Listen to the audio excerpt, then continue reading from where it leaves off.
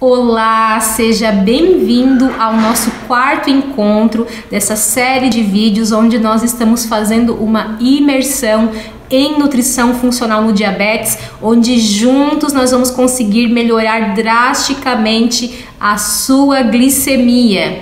E agora me conta aqui, como é que está o seu sono à noite, como é que está o seu despertar, o seu acordar, como é que você está se sentindo pela manhã. Escreva aqui para mim nos comentários que eu quero ler como vocês estão se sentindo e saber o impacto que vocês estão tendo na vida de vocês. E para quem está caindo de paraquedas nesse vídeo aqui hoje, não deixe de assistir os três primeiros vídeos que foram postados. O link está aqui abaixo desse vídeo onde nós estamos fazendo uma imersão muito aprofundada no diabetes. Quem não me conhece ainda, eu sou Daniele Rocha, nutricionista funcional no diabetes e diabética tipo 1 há 23 anos. E nós estamos aqui numa imersão, nós estamos aqui num grupo onde nós estamos trabalhando para melhorar drasticamente, beneficamente a nossa glicemia. Compartilhe com os amigos de vocês, compartilhe com os familiares de vocês, para que eles tenham informação, acesso à informação de qualidade.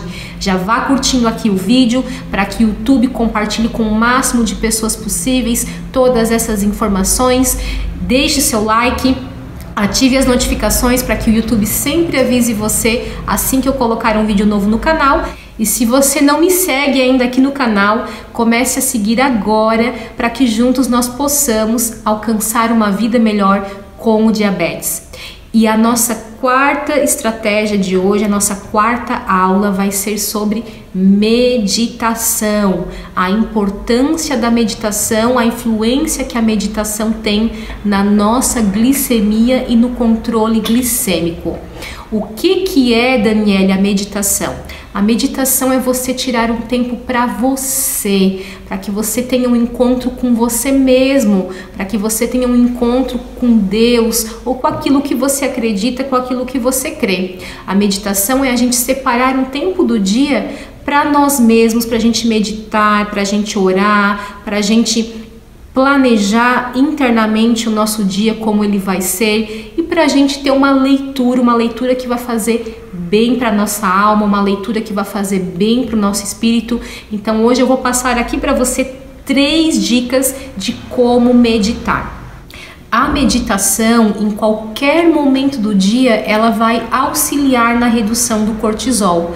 Mas eu acho muito interessante praticar a meditação, realizar a meditação pela manhã, principalmente nós que somos diabéticos, devido ao aumento do cortisol no período matutino e que praticando a meditação, a meditação é mais um hábito, mais uma estratégia que auxilia na redução do cortisol automaticamente melhorando a glicemia. Então nós podemos começar o nosso dia meditando, começando com uma oração, agradecendo a Deus, lendo uma palavra. Isso auxilia muito na redução do cortisol, porque na realidade é um encontro que nós estamos tendo com nós mesmos, com o nosso Criador, com o nosso Senhor que criou todas as coisas e isso auxilia muito nas nossas emoções, a gente falar para Deus, a gente falar para aquilo que a gente crê, o que a gente sente, as nossas emoções, as nossas necessidades, os nossos sentimentos. Isso é algo muito importante a gente estar tá praticando. Eu gosto muito pela manhã de pegar, vamos ver aqui, a Bíblia, ler uma palavra de Deus estar lendo uma palavra de Deus, uma palavra de motivação, uma palavra que, traz, que traga conforto para nossa alma. A nossa alma, o nosso espírito, as nossas emoções têm influência direta no cortisol e o cortisol na nossa glicemia. Então, a gente começar pela nossa manhã, você pode fazer o seu café da manhã, mas se você me falar assim, ó, ah, Daniele, mas o meu filho vem de manhã e quer minha atenção. Aí eu tenho que sair correndo para o trabalho. Você vai se organizar, tirar uma meia hora, 20 minutos, o que der para você, no seu período matutino, para colocar em prática esses hábitos de vida. Então você vai falar para o seu filho. Eu falo para o meu filho, filho, eu dou um beijo nele, tenho meu momento com ele na hora de acordar, né? Eu dou atenção, mas depois eu falo para ele, filho, agora a mamãe vai ter um tempo de 20 minutos para a mamãe, vou ter um, vou ter um tempo para mim, que é para mim fazer a minha oração, agradecer. Eu tomo meu café primeiro da manhã, você pode fazer a sua refeição e tirar logo em seguida esse momento para agradecer, esse momento de meditação. E depois sair para o seu trabalho, para os seus afazeres, né? Mas você vai se planejar para ter esse tempo pela manhã acordando mais cedo, essa nossa rotina matinal para que a gente tenha qualidade de vida, para que a gente tenha saúde e uma vida abundante. Então, tirar esse tempo pela manhã depois do seu café da manhã, para quem faz, para quem pratica o desjejum, para quem faz realiza o café da manhã, tirar esse tempo para agradecer, para orar, para ler uma palavra de ânimo, de vigor, né, que dê aquela energia espiritual para a gente começar o nosso dia. Uma outra prática que a gente pode estar fazendo pela manhã também é a respiração consciente. Tirar esse tempo para meditar. A oração também é um tempo de meditação e a respiração consciente também é um tempo de meditação. O que, que é a respiração consciente? que auxilia muito no nosso estresse, ajuda muito a reduzir hormônios relacionados a estresse e ajuda muito a reduzir o hormônio cortisol. A respiração consciente, você vai inspirar por 4 segundos, inspirar o seu ar soltando o diafragma como se fosse encher um balão. Você inspira por 4 segundos segura o ar por 6 segundos e solta o ar pelas narinas, soltando o abdômen, soltando os ombros por 4 segundos. Ou você pode fazer no seu ritmo. Inspira o ar, soltando o diafragma, como se fosse encher um balão.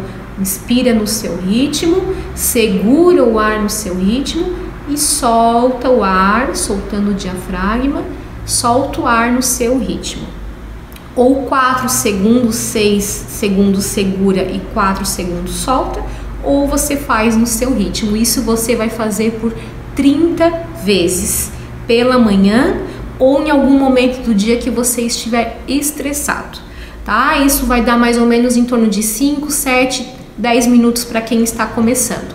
Praticar a respiração consciente é muito importante para nossa saúde. Primeiro, que ajuda a reduzir o cortisol, segundo, que ajuda a reduzir a adrenalina, outro hormônio ligado com o estresse, ajuda muito a oxigenar o nosso pulmão, as células do nosso corpo.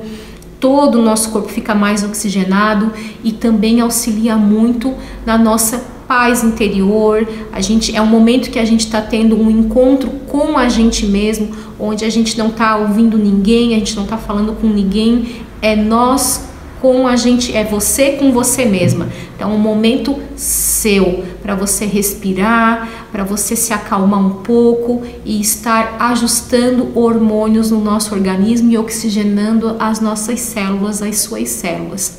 E tem até um estudo, inclusive, que mostra um estudo, um estudo muito importante realizado com pais de pacientes diabéticos tipo 1, onde eles realizaram a respiração consciente nesses pais em dois momentos do dia, um período da manhã e um período da tarde, em pacientes que se eu não me engano, não, não estou me lembrando bem aqui agora, mas os pacientes tinham recém sido diagnosticados com diabetes tipo 1 e praticar a respiração consciente com esses pais auxiliou muito na redução dos hormônios do estresse relacionado com o diagnóstico de diabetes tipo 1 dos seus filhos.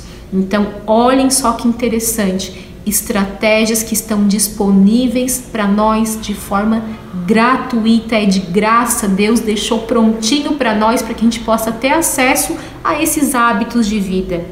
E a terceira dica que eu vou dar aqui para você é: nós somos, querendo ou não, uma parte resultados daquilo que a gente lê, daquilo que a gente escuta e das pessoas com quem a gente anda. Então procure andar com pessoas que lhe façam bem, pessoas que não murmuram, que não reclamam para não deixar você estressado, o seu cortisol não aumentar e a sua glicemia não aumentar também. Procure ler algum outro livro que lhe faça bem, que faça bem para sua alma, para o seu espírito, para o seu entendimento que lhe dê novas visões, novas perspectivas de vida.